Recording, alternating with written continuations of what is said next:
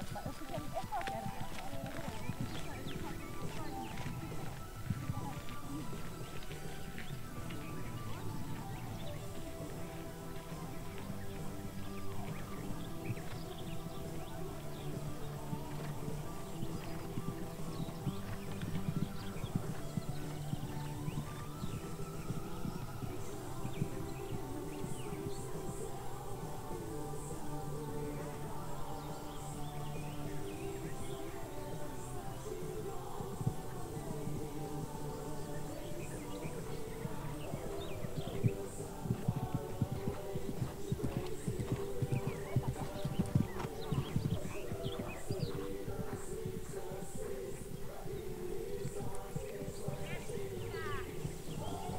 Simon Solomon, wie schön hier.